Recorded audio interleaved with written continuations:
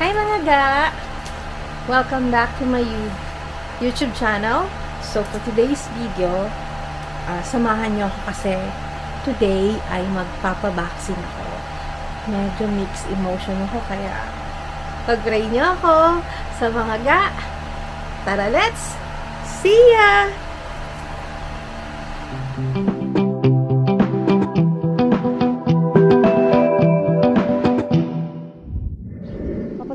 tayo, nag-aamang na kami ng grab. Doon ako naka-assign sa ano, Sagad High School. So, kung sakaling matatanong nyo kung bakit uh, magpapabaksin na ako. Kasi, uh, qualified ako dun sa A3, yung sa uh, nag-fall ano ko under dun sa category of persons with ano comorbidities. So kasi yung mga may pre-existing kasi maga ang uh, COVID-19 vaccination program, meron silang prioritization framework ng limang category. So merong A1 to A5. So yung A1 yun yung mga yun yung mga frontliner service sa uh, ano natin, uh, health services ng mga frontliners. Tapos yung A2, yung mga senior citizen. Tapos nga yung A3, yung mga may pre-existing conditions. At yung A4, alam ko ngayon A4 na tayo eh. So yun yung mga frontline personnel naman. So yung mga at risk din na nagtatrabaho sa labas. And then yung last is yung mga indigent. Yung mga kababayan natin na hindi kaya or poorest of the poor. Yun, yun, yun mga ga. So, excited na ako na syempre kinakabahan din kasi syempre aminin natin bago to, 'di ba? So, pero I'm sure naman dahil in time lahat din tayo dada, dadaan dito. So, unahin, nauna na ako na ano, pero I'm sure naman maganda itong ano, itong vaccination. At least merong ano protection tayo dito sa pandemic or sa COVID-19. So, tara mga ga, wala pa yung Grab. So, ang appointment ko 1 to 3. So, alas 2 na. okay naman sabi kasi ni Mayor, uh, okay lang kahit 2.59 ka pumunta. Basta huwag ka makipagsiksikan. Mas maganda daw yon. So, yun mga ga. Samahan niya ako hanggang doon. See ya! Wala ko, MG.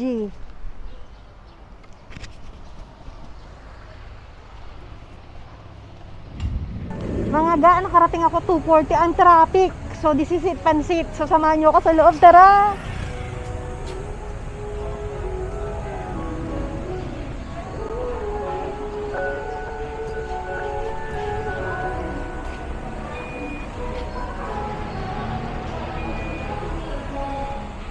Dito po ba?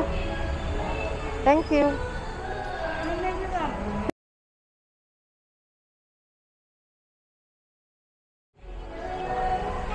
Ano yung vaccine natin, ga? Ah, sign ba? Ah, okay. Barangay, tapos cellphone number. Apa. Sa mga ga, kapag pupunta kayo dito, magdala kayo ng ballpen, please.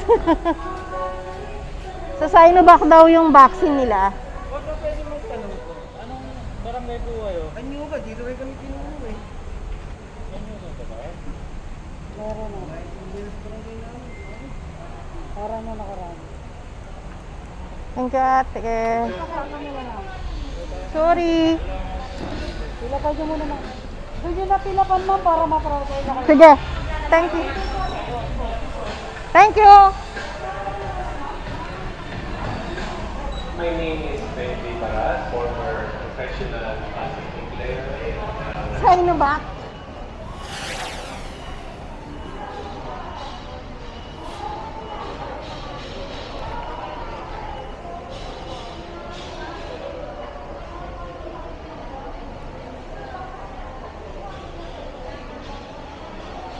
College, Eastern Iraq, Eastern Iraq, Eastern Iraq, Central Iraq.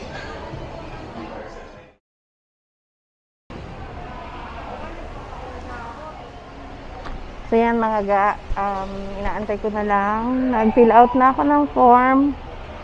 Tapos ang vaccine nila today is Sinovac daw. So, I'm sure yung iba, alam na nila. Dali lang ha. Pa- Pa-interview lang ako kay ate.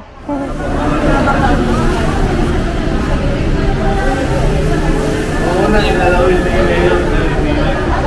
Nagkaroon ng issues na ano, sa social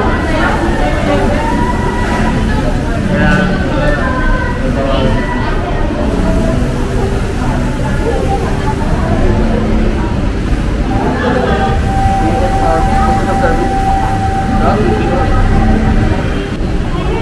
Bawal magkuha sa loob. sa mga ga, bawal. Kaya hanggang dito lang tayo kasi ah, nagka-problema ata sa social distancing daw dati. Pina, inaalaw ni Mayor ngayon hindi na. So, ganun na yung mga ga. Hanggang dito na lang. Excited na ako. Ha.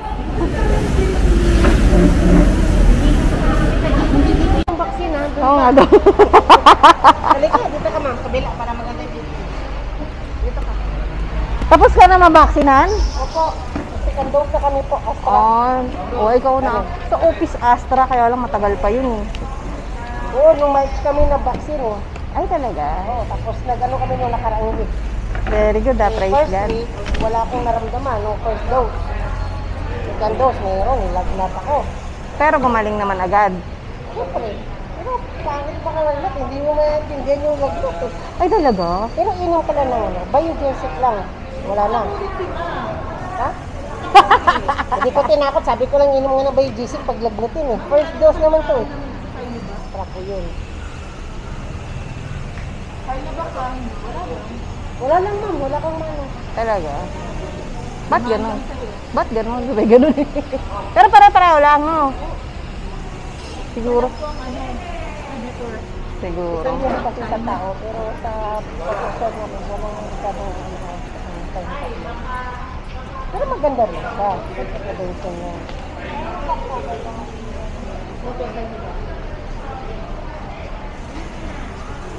Okay. Yun ah, mabay na kape. Thank you!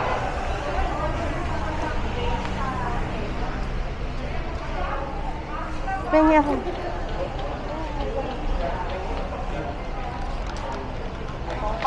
Hindi na.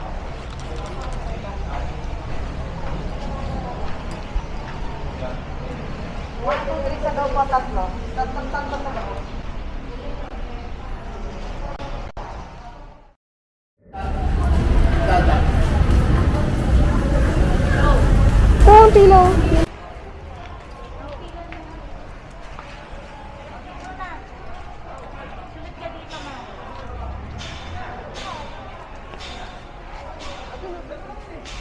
Ay di ano ma, ah, ano ba yan? Yung mga ga sa Inovac. So, 28 days, ano, te-text ka ulit. Pa- Para sa mga hindi nakakaalam, ah, I'm sure yung iba alam na na yung profile, way of profiling, Sa akin ang text yan. Yung way of profiling nila online. So, tata- ta-ask nyo yung mga local leaders nyo kung paano mag, ano, saan kayo makikipag-coordinate kung gusto nyo magpa-vaccine, mga ga. 28 to 32. So, yun, ganon. May form na pipirmahan, di ba? Para sa profiling.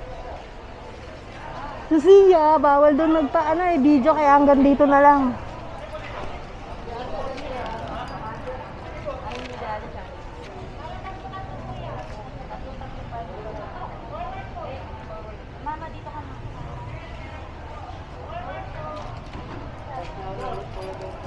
Dito ka, ikaw ma'am, baga ako. Monitoring na.